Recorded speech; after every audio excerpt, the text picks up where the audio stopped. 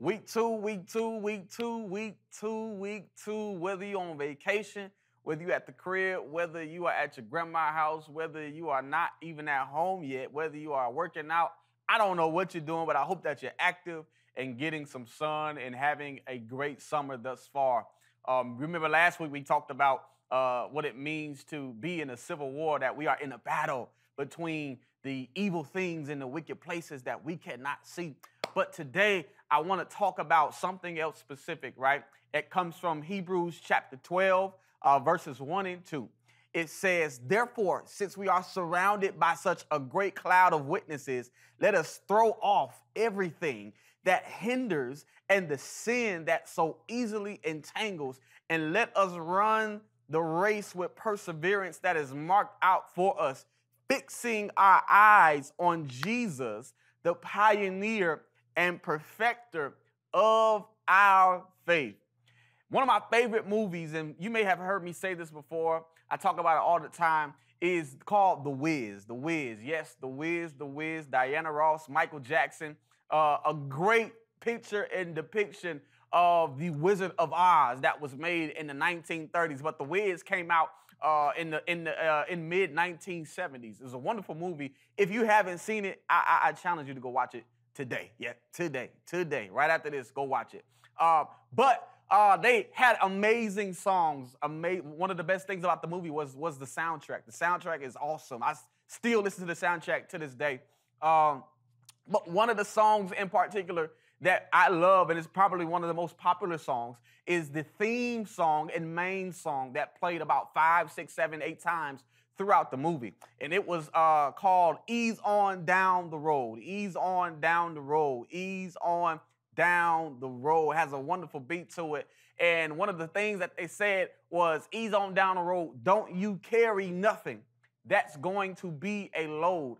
You just need to ease on down the road. Now, y'all know the story of the Wiz, the Wizard of Oz. If you don't, basically, it was a group of people that was trying to make it to the wizard, right? And they had to follow this yellow brick road and they had to stay on this road. But there was a lot of obstacles that came their way in the midst of them following this road. And the song helped them to get over those obstacles. The song helped them to keep on going. The song helped them to remind themselves of their destination and where they were headed. And I'm trying to tell y'all this morning, afternoon, night, whenever you're watching this, is that you need to learn how to ease on down the road. But here it is to not carry things that are going to be a load, that are going to weigh you down, that are going to cause you to struggle and having a hard time pulling. You don't need to pull no extra weight, right? Life is already tough. Life is already hard. I know that you are at a young age, whatever age you are at, it, it, it, it's already hard for you, right? You're exposed to a lot. You've seen a lot. You've gone through a lot. You almost, some of you may struggle with even being on this earth. And I understand that. But what this text is trying to suggest to us is saying the writer's here, he's encouraging us to say, hey, check what you got on your bags. Check what you got on your shoulders. Check what you are carrying in your hands. Check what's in your life that's causing you to be so heavy, right? That load may be something that you just keep indulging in on social media. Do you not realize how draining social media can be to you every day? What, what, what, what, what about what, what about possibly trying to go a few days without it? See how you will feel. See, see how thriving you'll feel. See how alive you'll feel. It, it may be a friend that keeps trying to get you to do some tough things or bad things. And they're causing unnecessary problems for you because you keep getting in trouble for them. You keep doing it because you feel pressure to do so. It may be something that you're that you're watching that you're not supposed to watch. It's causing you to think about things that you can't even process yet. It's causing you to to, to feel ways that that that that that you're not really supposed to experience until you get in a certain age, or not even a certain age until you get into a certain demographic of life, right? There are a lot of things that are causing us to be weighed down, but you need to just go ahead and cut it off. Cut it off. Cut it off. Let it go. Drop it right where you are. Let it go. It has no rule over your life. It has no purpose in your life. It's not going to serve you well. It may be a person that you like, right? That y'all are in a relationship. Y'all, y'all been going back and forth. It seems like things ain't working out. You stressed out, think about what she doing. She, you, you, she stressed out, thinking about what you doing. Y'all trying to connect, but you, y'all, y'all not connecting, and it's causing you unnecessary stress at an age that you don't need that type of stress. Let it go. Lay aside that weight. Lay it aside, lay it aside, lay it aside. It is unnecessary for you to have. The Lord is saying to you today, hey, put that in my hands. You don't need to carry it. I'm trying to get you to some place. I'm trying to take you places. I'm trying to elevate you. I'm trying to allow you to move through this life. And God is saying to you, this summer, you need to learn how to cut some things off before you walk into this next school year. This summer, you need to analyze, look around your room, look around your, your, your, your, your, search, look around your, your, your history on social media, look around in your mind and see what's there that's causing you to be weighed down.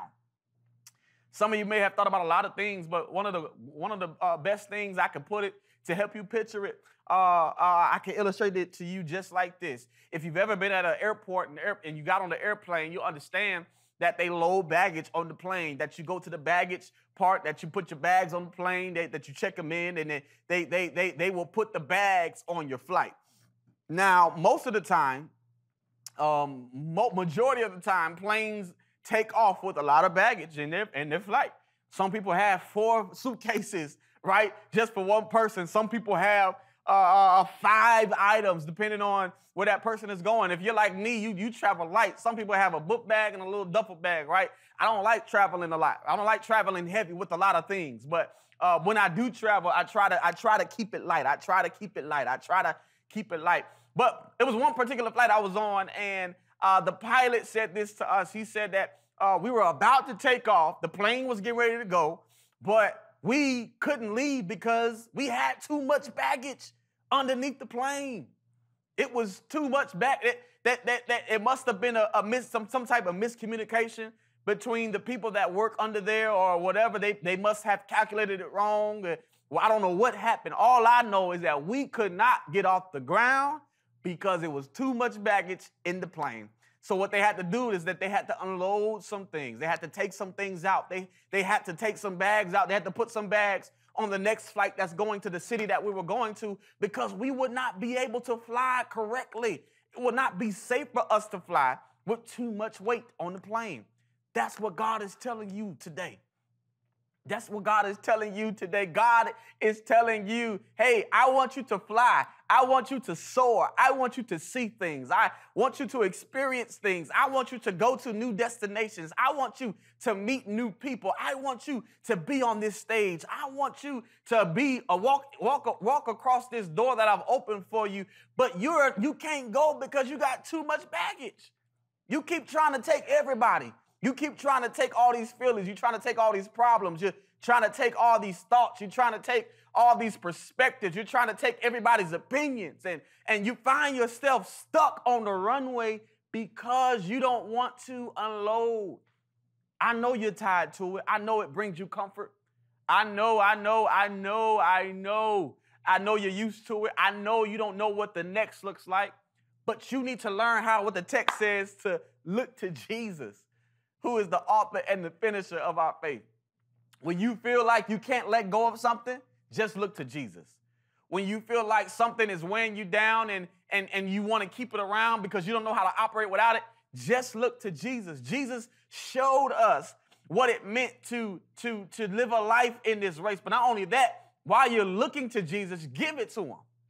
Just hand it over to him. Cast all your cares upon him, right? The Lord is saying, hey, give it to me. While you're running, I'll hold you, I hold your bags.